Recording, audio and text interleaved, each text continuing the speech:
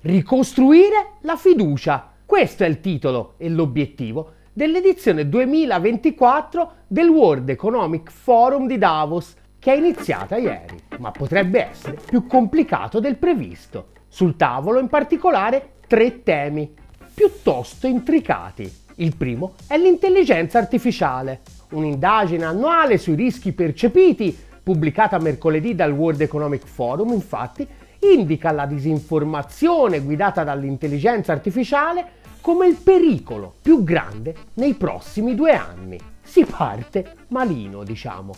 Il tema della disinformazione legata all'intelligenza artificiale, infatti, puzza di arma di distrazione di massa da mille miglia di distanza. D'altronde non dovrebbe sorprenderci affrontare le vere criticità dell'intelligenza artificiale invece che questa fuffa da editoriale della Repubblichina e da inchiesta dell'Internazionale, infatti, potrebbe non essere esattamente nell'interesse delle oligarchie che il forum vuole rappresentare. Come ogni grande rivoluzione tecnologica, infatti, l'intelligenza artificiale può rappresentare davvero un'opportunità gigantesca, ma solo a patto che venga governata e gli vengano messi una lunga serie di paletti che vanno contro l'interesse economico immediato di chi detiene i mezzi di produzione. In caso contrario, non si può tradurre in nient'altro che un'altra gigantesca opportunità per chi ha più quattrini di concentrare ulteriormente nelle sue mani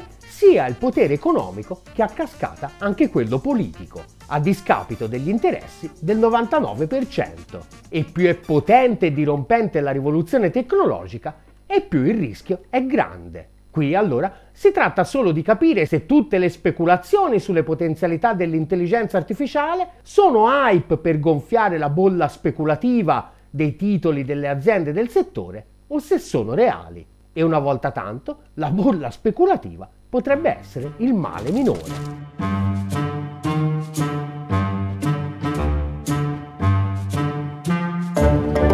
Il secondo tema sul tavolo è quello del gigantesco debito che negli ultimi anni hanno accumulato i paesi in via di sviluppo. Oggi, ricorda Deutsche Welle, infatti, 3,3 miliardi di persone vivono in paesi che spendono di più in interessi sul debito che in educazione e sanità. Ho come l'impressione che a Davos abbiano la soluzione magica, privatizzare tutto. D'altronde c'è chi si è portato avanti. Venerdì scorso, infatti, è stata ufficializzata un'acquisizione che rischia di cambiare per sempre il mondo dell'asset manager capitalism, il capitalismo contemporaneo, dove i giganti della gestione patrimoniale si comprano tutto il pianeta con i nostri quattrini. Per la modica cifra di 12,5 miliardi, infatti, BlackRock si è comprata Global Infrastructure Partner. L'accordo, titola enfaticamente il Financial Times, creerebbe la seconda più grande azienda infrastrutturale del mondo e scuoterebbe gli investimenti del mercato privato. Con oltre 100 miliardi di dollari di patrimonio gestito, infatti, Global Infrastructure Partner è il più grande gestore infrastrutturale indipendente in termini di asset gestiti a livello globale. Avete presente quando parliamo di privatizzazione degli asset strategici dei paesi a favore dei fondi privati? Voi avete capito?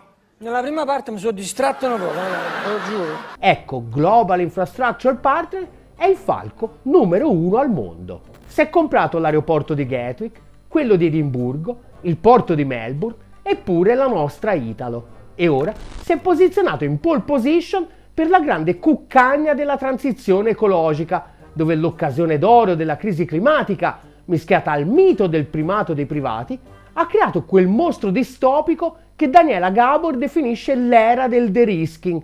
Gli stati ci mettono i soldi dei contribuenti e i privati incassano, senza rischio. Ma il più importante di tutti è il terzo punto, il rallentamento della crescita economica globale. La Banca Mondiale infatti ha recentemente dichiarato che con il 2024 si chiuderà il quinquennio con la crescita più bassa degli ultimi 30 anni. Le concause sono tante, a partire dalla crisi pandemica, ma ce n'è una che domina incontrastata. Siamo nel bel mezzo di quella che Vijay Prashad definisce la terza grande depressione del capitalismo globale. E qui la dialettica tra le oligarchie sul che fare si fa già più interessante. L'incredibile concentrazione di ricchezza nelle mani di pochissimi attori, alla quale abbiamo assistito negli ultimi 30 anni, infatti poggia su due gambe. Da un lato c'è l'economia reale. Con la globalizzazione neoliberista, infatti, i capitali hanno avuto la possibilità di andare in giro per il mondo alla ricerca delle delocalizzazioni che gli garantivano i margini di profitto migliori. E siccome le merci che produci poi le devi pure vendere, la precondizione era che le rotte commerciali fossero sicure. E a tenerle sicure ci pensavano gli USA, l'unica superpotenza globale rimasta dopo il crollo del mondo sovietico. Ora, come dimostra la crisi del Mar Rosso, dove l'azione dell'esercito di uno dei paesi più poveri del mondo è bastata scatenare il panico sul traffico commerciale, gli USA in declino relativo quella sicurezza non sono in grado di garantirla più. La Pax americana infatti non era gratis, presupponeva un ordine internazionale dove gli USA dominano e gli altri possono accompagnare solo. E di accompagnare solo ormai il resto del mondo si sarebbe anche un po' strarotto e con... L'altra gamba del dominio globale delle oligarchie invece è più in salute che mai è lo schema Ponzi della speculazione finanziaria, un mondo di bolle. Ora, le due cose a lungo hanno viaggiato a braccetto. Grazie alle delocalizzazioni e alla sicurezza del commercio globale, le oligarchie incassavano il loro taglieggio sull'economia reale e sulla produzione e una bella fetta la reinvestivano appunto nelle bolle speculative una vera pacchia, fino a che economia reale e bolle speculative non hanno cominciato a entrare un po' in conflitto tra loro. Per continuare a sostenere le bolle speculative, infatti, c'era bisogno che il capitalismo finanziario USA consolidasse il suo dominio su tutto il resto del globo. Gli investimenti nell'economia reale, invece, contro le aspettative delle oligarchie stesse, che sono più brave a fare quattrini che non a capire cosa succede davvero al di fuori delle loro conventicole, spingevano esattamente in direzione opposta. Passo dopo passo, in mezzo a mille contraddizioni, ponevano le basi materiali di quel nuovo ordine multipolare che ora chiede a gran voce di essere riconosciuto, mettendo a repentaglio proprio quel dominio incontrastato USA necessario per garantire che le bolle continuino a gonfiarsi a dismisura e non esplodano mai.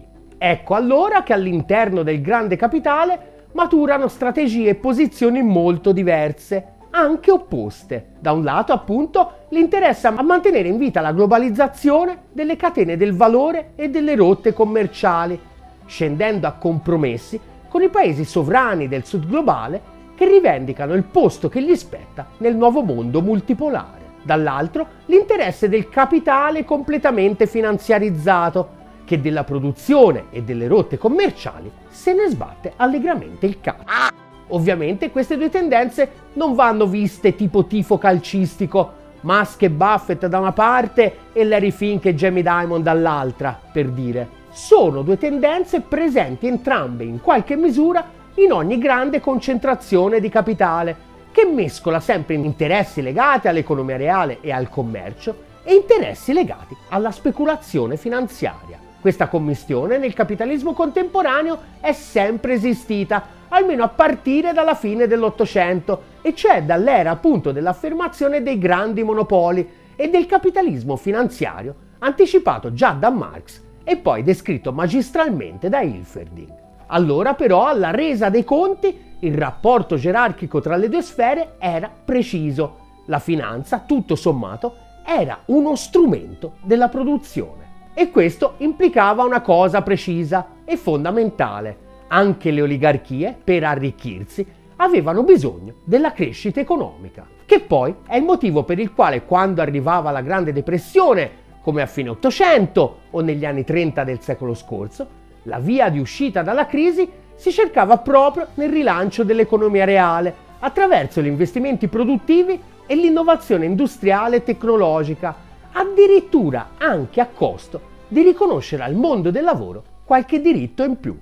Ora quel rapporto gerarchico sembra essere completamente saltato per aria. Accumulazione di ricchezza finanziaria e crescita economica sembrano essere completamente disaccoppiate. spesso addirittura in contrapposizione. Meno cresce l'economia reale, più le oligarchie si arricchiscono. Le bolle speculative non sono più semplicemente un'amplificazione, per quanto ingiustificata nelle sue dimensioni, di qualcosa che avviene realmente nell'economia reale. Non sono più i papaveri olandesi che nel Settecento avevano raggiunto quotazioni folli. Vivono di vita propria. Sono giganteschi schemi Ponzi. Ma c'è un problemino. Gli schemi Ponzi, prima o poi, esplodono e dietro lasciano solo cenere, a parte ovviamente per quelli che nel frattempo sono usciti dallo schema in anticipo con il malloppo.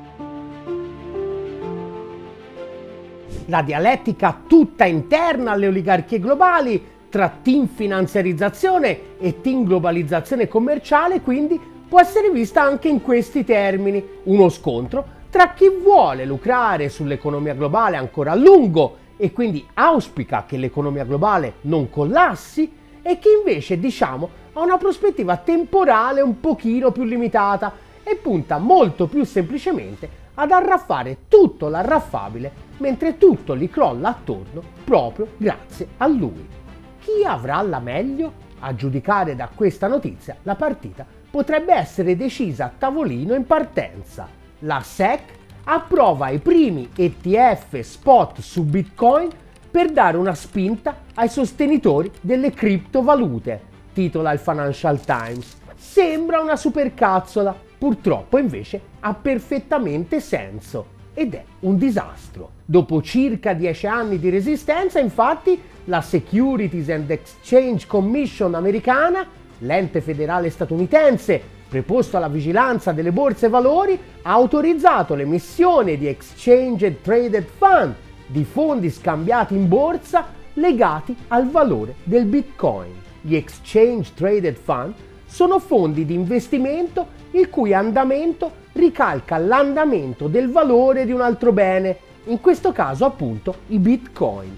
Sostanzialmente, comprando le azioni di uno di questi fondi, il valore del tuo investimento avrà lo stesso identico andamento del bene o dell'indice di riferimento. Insomma, è esattamente come se ti comprassi bitcoin, ma senza tutte le menate legate a comprarsi bitcoin poi custodirli da qualche parte e poi eventualmente rivenderli. Una serie di complicazioni che non solo hanno tenuto alla larga molti investitori un po' age e un po' scettici, ma soprattutto hanno tenuto fino ad oggi alla larga gli investitori istituzionali, come ad esempio il tuo fondo per la pensione integrativa o il tuo fondo sanitario. Ed era decisamente meglio così. Perché? Per i più moderati, appunto, semplicemente perché i bitcoin sono uno schema Ponzi. È quello che ad esempio sostengono da sempre Nouriel Rubini, ma soprattutto William Quinn, storico dell'economia all'Università di Belfast e uno dei principali esperti al mondo di storia delle bolle finanziarie, che ricorda come tutte le bolle passate che ho studiato coinvolgevano comunque un qualche asset con una qualche utilità e al quale era associato un flusso di denaro. Storicamente continua quindi invece un asset finanziario senza queste caratteristiche e fondato esclusivamente sul marketing sarebbe stato considerato una frode e in particolare appunto una frode in stile Ponzi, che in soldoni funziona così. Io ti convinco a darmi i tuoi quattrini promettendoti profitti da capogiro, ma in realtà questi investimenti che generano questi profitti da capogiro non esistono e quando mi chiedi di restituirti capitale e interessi, io li vado a prendere dai soldi che nel frattempo mi hanno dato altri investitori che ho convinto. Fino a che a chiedermi di restituire capitale e interessi maturati non siete in troppi e i capitali dei nuovi investitori non bastano più. E a quel punto tutto salta per aria. Che secondo il famoso scienziato informatico brasiliano Jorge Stolfi è esattamente come funziona il Bitcoin, dove uno, gli investitori acquistano aspettandosi profitti. Due, questa aspettativa è sostenuta dai profitti di coloro che nel frattempo hanno già rivenduto incassando buoni profitti. 3. Per sostenere questi profitti non esiste nessuna fonte esterna. I soldi provengono tutti solo da nuovi investitori. E 4. Gli operatori si portano via gran parte dei soldi. Tutto questo è senz'altro vero per i bitcoin, scrive Robert McCauley della Oxford University sul Financial Times. Ma nel definire bitcoin uno schema Ponzi, addirittura, dice McCauley, i critici sono probabilmente troppo gentili. Secondo McCauley, infatti, in uno schema Ponzi il grosso del capitale viene investito in asset che un valore comunque ce l'hanno. Ovviamente, quando il meccanismo scoppia, gli investitori devono rinunciare ai profitti che erano stati garantiti e magari nel frattempo una bella fetta del capitale solitamente è stato fregato da chi lo gestiva. Ma un po' di quegli asset comunque esistono sempre e quindi possono essere venduti e un po' di quattrini si possono sempre recuperare. Nel caso del più grande schema Ponzi di sempre, ad esempio quello di Bernie Madoff, dei 20 miliardi ricevuti dagli investitori, alla fine ne sono comunque stati recuperati 14. Nel caso di Bitcoin invece di asset che hanno un qualche valore oltre al Bitcoin stesso non ce n'è e quindi nel caso un bel giorno qualcuno per un motivo qualsiasi perdesse la fiducia nel Bitcoin e il suo valore crollasse, non ci sarebbe niente da vendere per recuperare un po' di quattrini. Ora ovviamente qui non si tratta di fare i moralisti, d'altronde si gioca ai cavalli, si comprano i gratti e vinci, si potrà pur scommettere in qualche frazione di Bitcoin. Io poi personalmente ne posso parlare solo bene. Una volta per fare un'inchiesta per report sulle criptovalute ci ho investito 500 euro per vedere di prima persona l'effetto che fa. Belle pile d'oro, bronzo, argenterane, sempre vi amerò! E devo dire, tutto sommato, è un effetto discreto. Quando li ho rivenduti l'anno dopo il valore era più che raddoppiato. E se avessi avuto giusto un anno e mezzo di pazienza in più, avrei guadagnato 6 volte tanto. Se è uno schema Ponzi o anche peggio, bisogna ammettere che ad oggi ha funzionato benino ed è diventato un giochino da poco meno di mille miliardi di capitalizzazione, più di Tesla e quasi il doppio di TMSC, il più grande produttore di chip al mondo, ma senza produrre né macchine né chip. Ma pensare che dei fondi istituzionali usino i soldi delle pensioni per comprare ETF e Bitcoin è oltre la peggiore delle distopie. Eppure, come ripete continuamente il nostro caro Alessandro Volpi, è una conseguenza abbastanza inevitabile del trionfo del capitale finanziario, che attraverso il massacro del welfare e l'impoverimento generalizzato di chi campa del suo lavoro, costringerà i fondi istituzionali a provare a tenere in piedi il potere d'acquisto delle nostre pensioni, puntando sugli investimenti che apparentemente garantiscono i dividendi più succulenti e nascondendo i rischi, fino a che non salterà tutto per aria. E a noi di fare per accelerare il declino, tutto sommato viene pure da essere felici del fatto che possano fare tutto questo con la complicità di media e politici da passeggio vari. Poi però ci torna un piccolo rigurgito di dignità e pensiamo che di fronte a tutto questo, come minimo, serva un vero e proprio media che non si faccia abbindolare dagli schemi ponzi delle oligarchie votate al declino e che dia voce al 99% aiutaci a costruirlo. Aderisci alla campagna di sottoscrizione di Ottolina TV su GoFundMe e su PayPal. E chi non aderisce è Larry Fink.